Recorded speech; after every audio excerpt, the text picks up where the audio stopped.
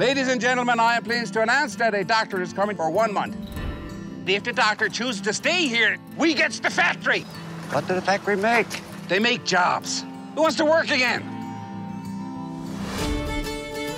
Now we have to make Dr. Paul Lewis believe that Tickle Head is the finest place to call home.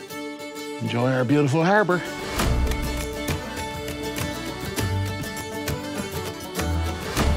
All I'm asking is to adopt a flirtatious attitude towards the doctor. No.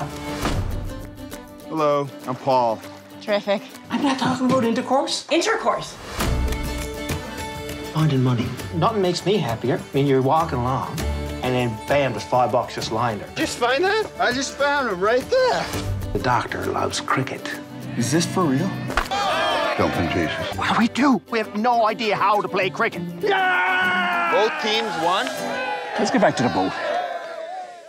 Well, thanks for taking the time today. Really course, appreciate it. Loved your work for ages now. Cool. Um, and it's nice to see you in a role like this because it does two things that you don't normally get a chance to do. Uh, the first of which I wanted to talk about was you got a chance to play a little bit with comedy because it's a very Right. funny movie. Yeah. And quite often you don't get you don't get cast in comedy. Right, so what's yeah. it like getting the opportunity to to cut a little more loose with this? I loved it. I loved it. I kind of jumped at it when I had the opportunity, and, and to work with Brendan Gleeson and Pinsent and, and Mark and the whole cast is great. And um, I don't know. I love waking up and going to work with this guy. He's, he's he was a blast, and he's hard to break.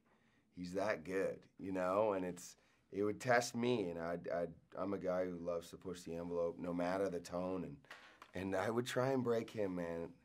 And it was tough if I did at all. Yeah, and I mean, I, I talked to, to the other guys already, and they both said it was very. Liane said it was very hard to reject you, and Brendan said it was very hard to lie to you. Yeah. So it's it's kind of interesting that they would say that about you, and you have to sort of. Me or the doctor? Well, the doctor. Yeah. Yes. But, Yeah. uh, Um, no, I mean, definitely. I think that's. I want them to. I want it to be difficult. You know, that means I'm kind of doing my job.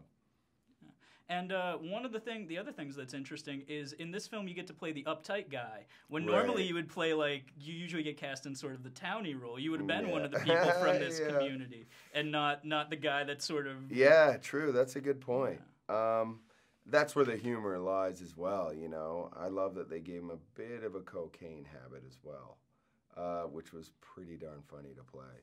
Um, I just, I don't know. It was a lot of fun to dive into, and I think that comedy is more situational than like boom boom joke. You know, um, which is important to me, and that's Brendan's specialty. How good he is with that dry humor, and and just to kind of go along that ride with him was awesome.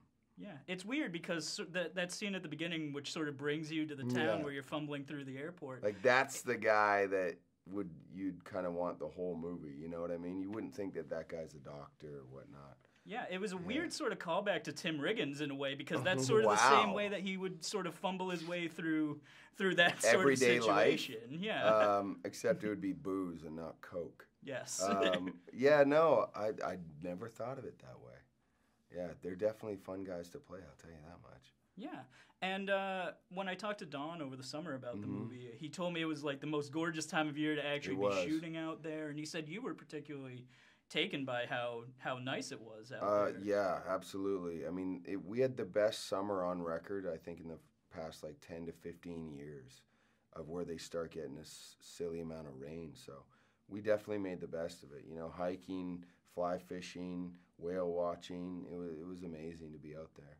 Yeah, and it seems like a nice little community to sort of get into, especially as an outsider playing an outsider in there. It seems like a really welcoming sort of place. So what's it like being in this in this really small harbor community already? It's it's really a character on its own right in the film too. You know, it's definitely simplified your lifestyle, which I loved, and I think all of us can can use once in a while. And and um, you know, to be with one of my best mates and to be you know training and and just you know, it, was great. It simplified it on a great level. You know, not using your phone ninety percent of your day. Try it. You know what I mean? It's tough. We're always on it, and so. But when we were there, it was it was refreshing. Yeah.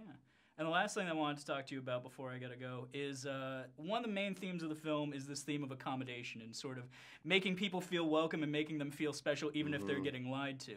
Now, I think when you're in a creative environment, like whether you do what I do, or you're a writer, you're an actor, you're a director, there are always those moments where people will sort of go above and beyond to try to make you feel special on something. So I was just wondering, on all the things that you've worked on, is there anything that really sticks out that was a moment where people sort of went above and Yeah. beyond to make you feel Absolutely. really welcome?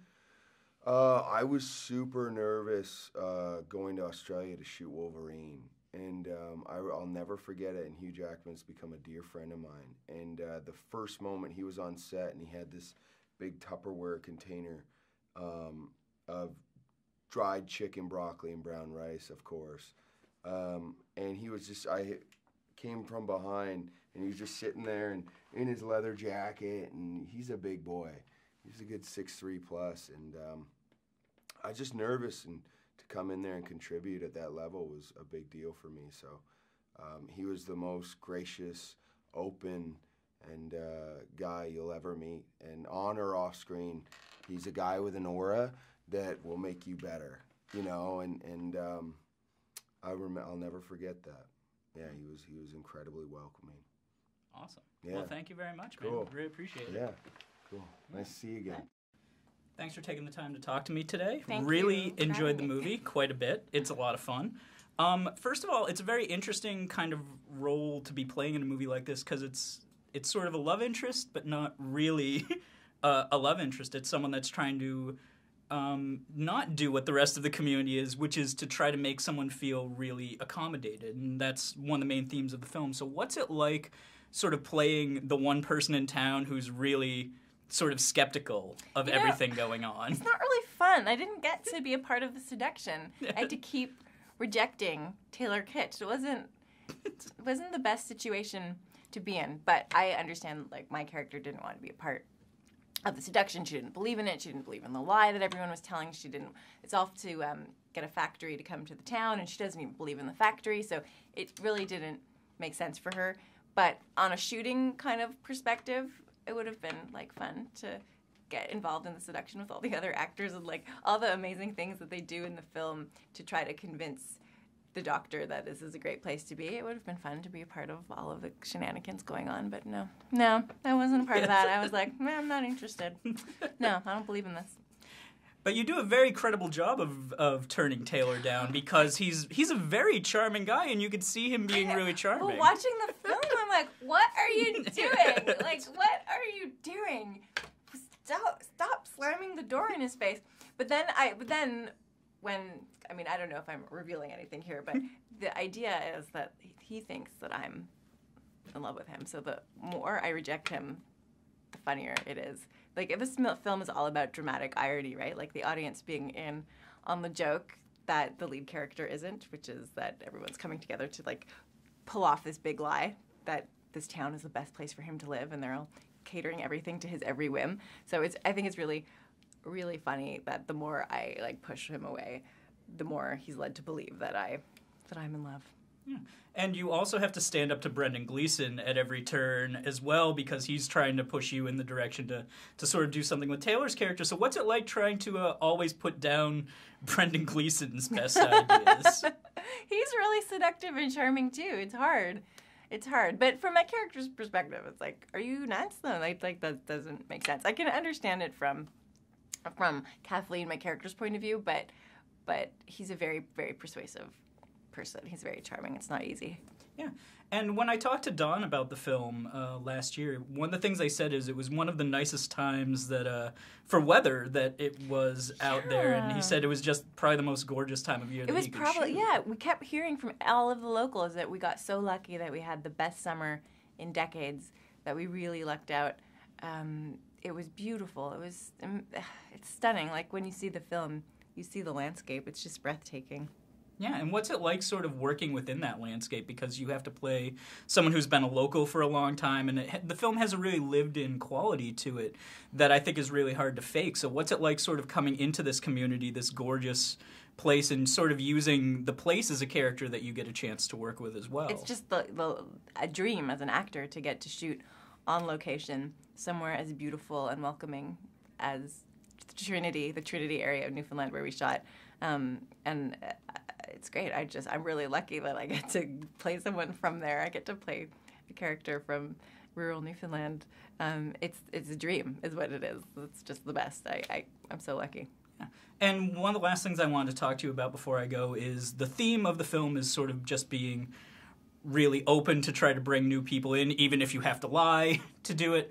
Um, so I think when you're in the entertainment industry, there are a lot of times when you get moments where people will be super accommodating to you and do things that sort of go above and beyond. So what's one thing that you've worked on or that you've had happen in your life that's made you feel really special when you've when you've worked on something that you kind of step back and is sort of humbling and was like, wow, that was really nice.